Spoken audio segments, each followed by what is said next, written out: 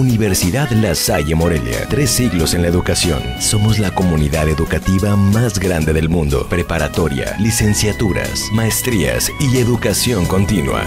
La Salle, profesionales con valor.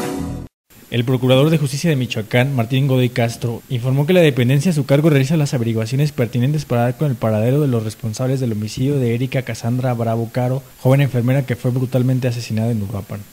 Hoy que ya apareció, eh, tenemos el tema de la investigación, los indicios que se están recabando ahorita ahí en la subprocuraduría de Uruapan, seguramente nos van a, a permitir dar buenos resultados.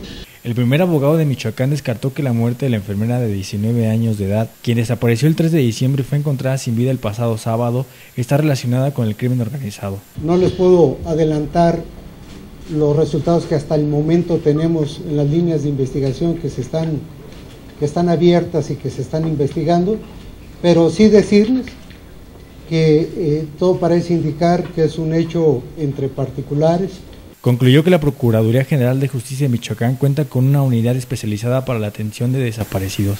Para Cuasar TV, Héctor Moreno.